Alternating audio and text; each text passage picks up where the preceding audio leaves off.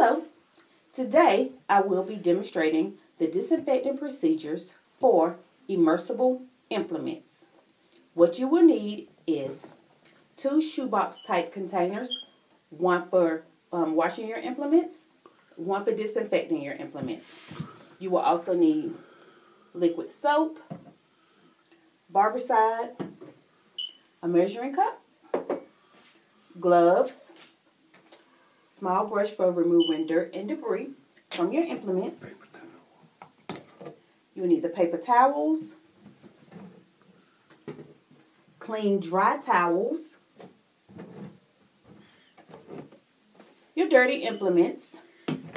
You will also need a container to put your clean implements in once you've um, disinfected them. All right? All salon professionals and cosmetology schools are required by the North Carolina State Board of Cosmetic Arts to follow these procedures.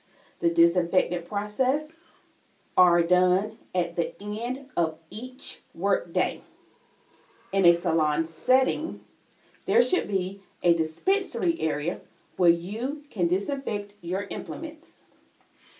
It is important to disinfect your implements to prevent the spread of diseases and disorders such as dandruff and ringworm. Right. If you're ready, let's get started. So we have our dirty implements container here. Get our dirty implements out. All right. We're going to come into the dispensary area here. We're going to locate all of our cleaning solutions and then we want to read all of the directions. On the back, you can find the directions or on the sides of the bottle. Your directions tells you how to mix it and how long you should submerge your implements in the solution. All right? So, now we're going to wash our implements. You're going to take the first basin and we're going to put about two cups of water. All right, so let's get our water.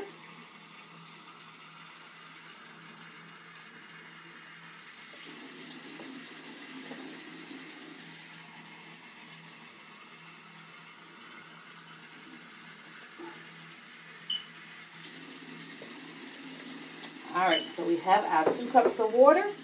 Put that there. Turn off our water. With your soap, put about two squirts of soap. Before you put your implements in or touch the solution, you're going to put your gloves on. My gloves here. All right, get your implements out of your container. Swish the water around a little bit. Put the dirty implements in, making sure that they are completely submerge. All right. Once your implements are in there, you get your small brush with your implements and you go in and you brush away any dirt and debris that may be on your implements as so. All right. Once you have cleaned all of your implements to your satisfaction, all right, you want to take the bowl over to the sink again where you would take and you would rinse your brush, you would take your combs out, set the basin to the side. You want to rinse your implements. Okay? Turn the water off. With a clean paper towel, you're going to dry them. All right? You will lay them down on your SMAs there. You get ready for your disinfection solution. All right. For this, you need to mix two ounces of Barbicide.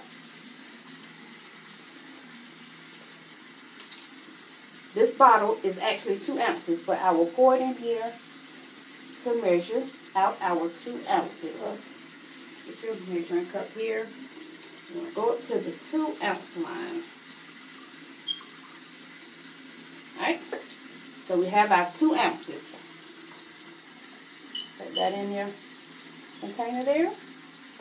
Now to this, there is 32 ounces of water. This is a 32 ounce container. Makes it easier for you. You don't have to think about it. So you fill that up. Get your 32 ounces of water here in your basin. Once you have your 32 ounces of water, you will add it into your shoebox type container for cleaning. Alright. Then you will take your implements that you just pre-cleaned with your soap and water. Alright. I have my 32 ounces here. I'm going to add it here. And I've made my Barbicide solution. Alright.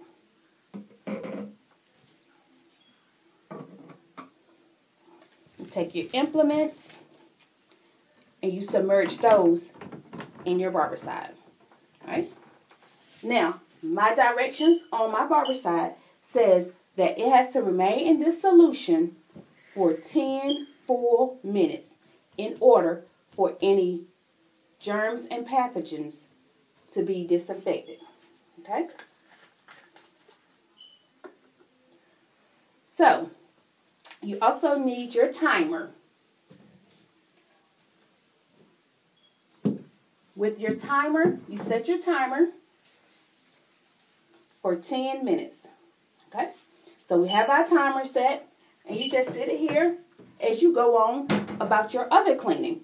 You may need to get your towels to take them to the um, laundry to be um, washed and dried. If there are any that are in the dryer, you take those out and fold them clean your station, sweep up any hair off of the floor, any of that cleaning that you need to be doing while your implements are in your Barbicide for the 10 minutes. Okay? Now, the implement is completely immersed and disinfected. Um, and the Barbicide needs to be bactericidal, virucidal, and fungicidal according to the manufacturer's directions. Okay? You want to remove your implements from the disinfectant using your manufacturer's directions. My manufacturer's directions say you should have on gloves or you should use tongs. Today we have on gloves. So our 10 minutes have passed. Turn on the water. We get our implement out of the Barbicide. We go here and we rinse with warm water. You rinse the disinfectant off. At this point, you will get a clean, dry towel from your cabinet. You will dry your implements.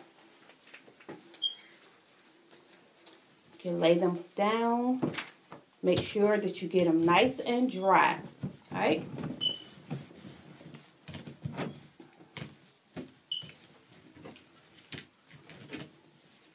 Once you get your implements nice and dry, move that out of the way. Once you get have your implements nice and dry, you can now store them in a clean closed container or cabinet. And you want to make sure that there are no other implements in there that have not been disinfected. All right?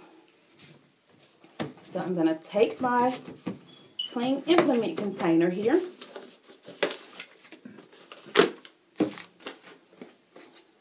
I'm Gonna open it up, if I can find the opening. Open it up here. Take my implements, put them in there. Close my container up. Show it. My clean implements. I'm going to put that up. I'm going to clean up my dispensary area and I am ready for work tomorrow. Thank you. Right, Mm -hmm.